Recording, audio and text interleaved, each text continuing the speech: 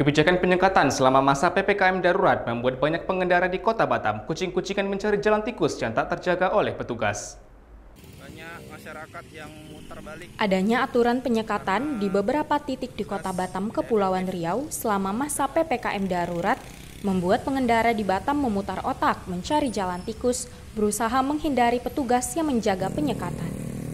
Salah satunya di Jalan Raja Ali Kelana Cikitsu, Kota Batam. Berdasarkan pantauan, pengguna jalan memilih memutar arah menggunakan jalan tikus menghindari penyekatan petugas.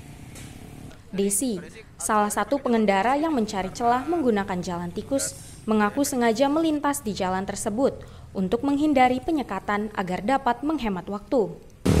karena di sana kan orang berputar tuh ya jadi di sini kan Oh gitu. karena kalau kita apa kan mak- makin jauh Oh gitu ya. Jadi kalian sih ah, istilahnya pakai jalur tikus gitu ya untuk menghindari penyekatan gitu. Iya. Kenapa? Kenapa pakai pakai jalur tikus untuk menghindari penyekatan biar lebih cepat biar lebih cepat? karena kan kalau kita ngikutin juga makin jauh Oke, begitu. Eh, dicegat oleh petugas. Hal serupa juga diungkapkan Fadli, ojek online yang mengaku keberatan dengan adanya penyekatan. Kerap. Hmm. Terpaksa ya lewatnya harus putar lah. Karena untuk penghambatan dari arah-arah misalnya dari lapangan terbang gitu kan? Terapa terlalu terlalu jauh kalau mutar bang? Eh, iya juga sih. Makanya bang. jauh jadi kadang terlambat juga ini.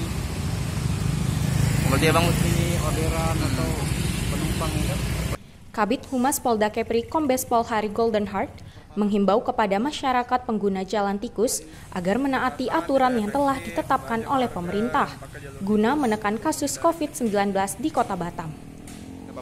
Ya, sekali lagi kita berharap menghimbau kepada masyarakat tolonglah sadar bahwa semua yang kami lakukan, semua kebijakan yang dilakukan ini yang diambil oleh pemerintah ini semata-mata demi keselamatan dan kesehatan masyarakat. Sekali lagi tolonglah kerjasamanya ya. Nanti kita sudah bisa melihat tiap hari pertambahan eh, masyarakat kita yang terpapar Covid luar biasa ya.